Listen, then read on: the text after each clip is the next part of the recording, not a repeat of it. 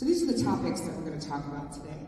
I want you to think for a minute about the word finessing, right? This is not one of my normal programs that you could buy online. This is something that I custom built for this audience, for the show, uh, based on what the speaker engager, Paul Trainer, wanted us to talk about.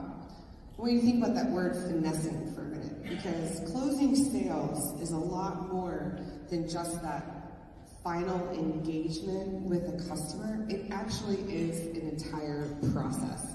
Now, I do believe that um, people would declare me a business development expert with all the years in the markets that I've had to serve for various companies.